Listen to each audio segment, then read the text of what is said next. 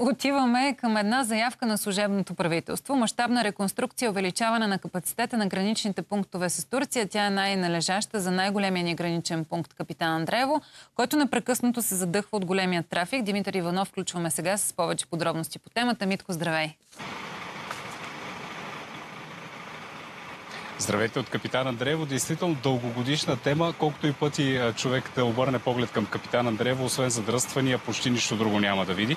Вчера тук имаше посещение от премиера Главчев и няколко от неговите министри, както и от ръководството на агенция Митници, за да обявят, че започва реконструкция и разширяване на съществуващия граничен пункт капитан Андреево. В бъдеще време е изграждане и на нов успореден граничен пункт, който да поеме голяма част от този трафик. Какво казаха всичките? Чуйте.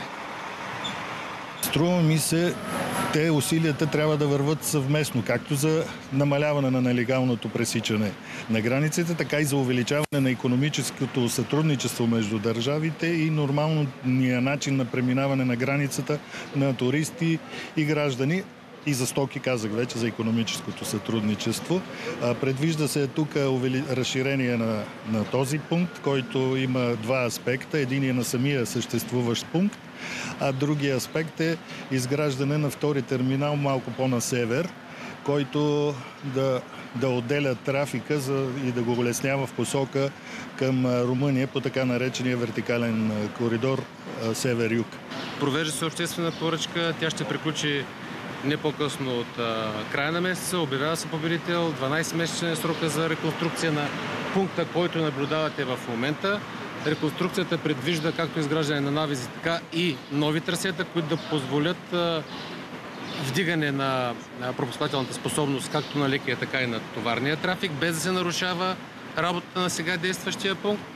Втория етап е изграждане на чисто нов, ние го наричаме терминал 2, на север от сега съществуващия, който да вдигне три пъти пропускателната способност. Преди изграждането на терминал 2 в ход е техническо задание, готово е.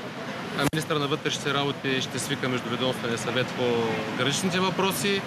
Очакваме на агенция Митници да бъде възложено възлагане на обществена поръчка за реконструкция и на гранично контролен пропускателен пункт Лесово Камзабей с който пропускателната способност до изграждането на новия терминал и връзката между Лесово и автомагистрала Тракия ще разреши проблемите с пропускателната способност в рамките на следващите не по-малко от 50 години. Министерството на регионалното развитие и благоустройството ще обезпечи връзката между двата пункта Лесово и Капитан Андреево с скоростен път, за да може при натоварен трафик да се ползват равностойно и двата. Това ще бъде чисто нов път или ще се ремонтират съществуващи пътища? А, об, прави се транспортен анализ, за да се види кой е най-добрият вариант, който следва да бъде реализиран, за да може да е с перспектива поне 50 години.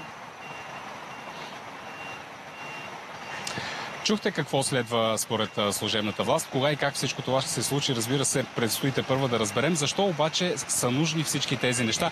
Виждате тези камиони, голяма част от тези шофьори понякога им се налага да чакат с денонощия на капитан Андреево.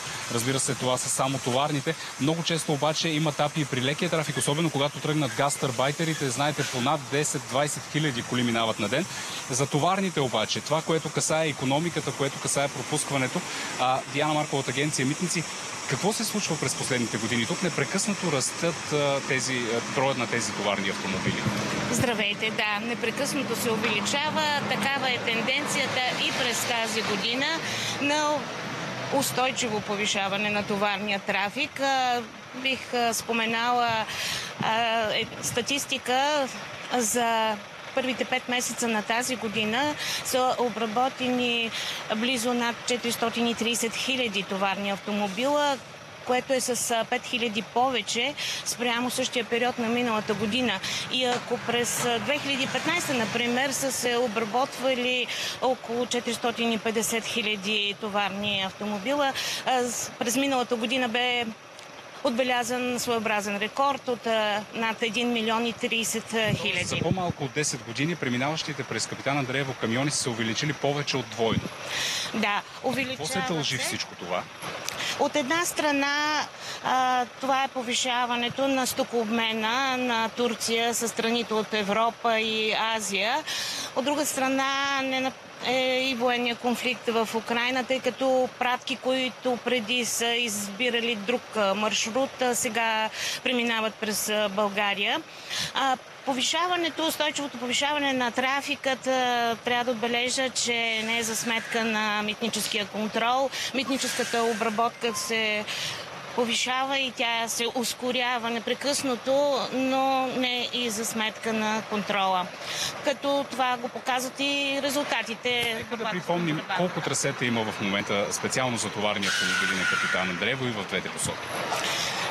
Митническия пункт Капитан Андреево разполага с 10 трасета за товарни автомобили и както знаете бяха изградени други две трасета специално за хладилни камиони. Това е на вход от Турция. Това е посоката от Турция към България, а в обратна посока от България към Турция трасетата са 6 на брой, като се работи на максимален капацитет. Благодаря ви много. Надяваме се, че след реконструкцията, след разширяването, първото, което трябва да се случи на, на съществуващия граничен пункт, леко ще се облегчи трафика. Чухте а, от изказванията вчера, че предстои паралелно изграждане на втори пункт, който условно е наречен Терминал 2. Това би трябвало да се случи до около 3 години и там да има още поне толкова трасета, за да поемат целият този трафик и от товарни, и от леки автомобили. Ами дано в някакъв момент наистина да се отпуши този трафик и да бъде по-спокойно и безпрепятствено пътуването. Благодарим ти, Митко, за тази информация. Димитър Иванов от Капитан